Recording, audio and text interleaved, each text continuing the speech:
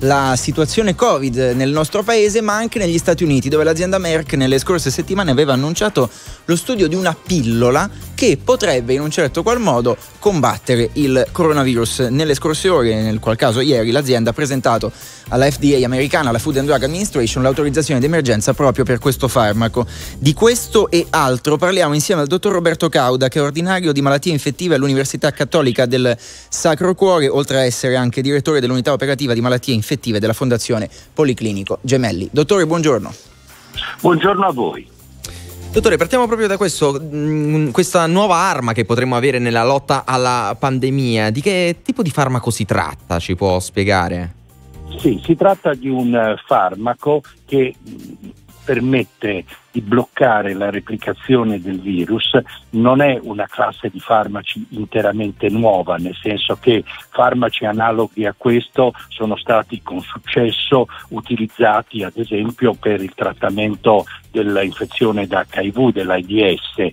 In realtà questo farmaco è una molecola che si lega all'RNA, cioè quindi al patrimonio genetico che il virus replica e replicandosi dà l'infezione e la malattia e blocca questa replicazione e quindi blocca il, l'infezione e permette quindi che si, le persone non si ammalino. I risultati, mi sembra come lei stesse accennando, sono stati molto buoni, tanto che la Merck, che è la prima di una serie di aziende, perché molti stanno studiando i farmaci, magari analogo a questi oppure diversi da questo, eh, ha chiesto all'FDA la possibilità di produrlo e di metterlo nel mercato.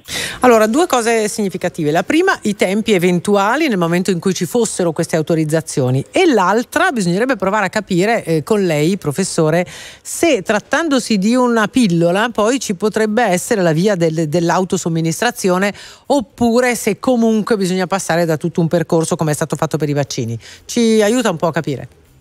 Sicuramente, nel senso che la, innanzitutto il nome non l'avevamo detto, è il Monupivar, che è appunto il nome di questa molecola, eh, questo farmaco che verrà, io penso, commercializzato entro l'anno, poi una volta che passasse eh, l'FDA dovrà essere valutato anche dall'EMA e in Italia dall'AIFA. Si tratta di un farmaco che si prende per bocca, mh, la durata di questo ciclo è di 5 giorni, la Merck ha fatto sapere che potrebbe produrre almeno 10 milioni di cicli di terapia entro l'anno e molti di più il prossimo anno.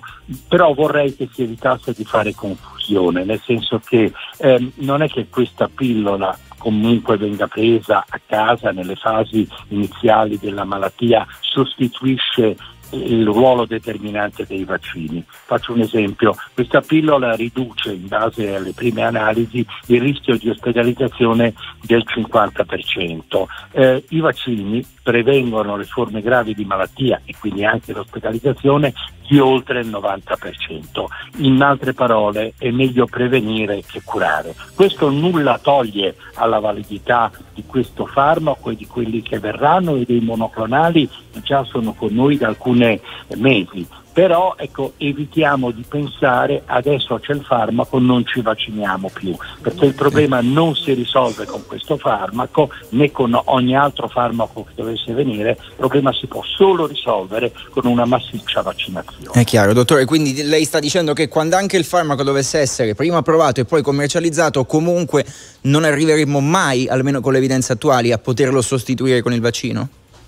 Assolutamente no, guardi, non esiste, se non forse per l'epatite C, per la quale il vaccino non è stato ancora, ci sono degli studi, studi anche molto importanti per il vaccino, ma l'epatite C eh, è possibile, si, si pensa eradicarla grazie ad una terapia efficace. Ogni altra malattia che è stata eradicata primo fra tutte il vaiolo è stato fatto grazie alla vaccinazione. È importante però avere una terapia o più terapie proprio perché visto che il virus continua a circolare e le persone si infettano e eh, possono avere delle forme anche gravi, questo può veramente fare la differenza in senso positivo. Assolutamente. Professor Cauda, tra poco ci salutiamo, ma ci sono molti argomenti che creano, che creano dibattito in queste ore, uno in particolare eh, portare il tampone a 72 ore alla sua validità anziché a uh, 48. Vogliamo, vogliamo chiederle se è rischioso oppure no? Dunque la risposta sì, è rischioso. Evidentemente queste sono scelte di natura politica. Uno poi può ponderare tra un rischio con questa situazione epidemiologica che è in netto miglioramento, ma la pandemia è ancora tra di noi, e il fatto puramente medico che eh, dal punto di vista medico è chiaro che il tampone fotografa una realtà che non è eh, diciamo, eh, proiettabile nei giorni successivi e quanto più giorni tu lo rendi valido tanto più aumenti il rischio che in quei giorni una persona che da negativa può diventare positiva. Quindi dal punto di vista medico l'allungamento a 72 ore può rappresentare un rischio. Perfetto, chiarissimo come sempre. Grazie dottor Cauda per essere stato con noi questa mattina, averci illuminato appunto eh, su, queste, su tutte queste materie. Grazie mille per essere stato con Grazie noi. Grazie a voi dell'invito. Buona giornata.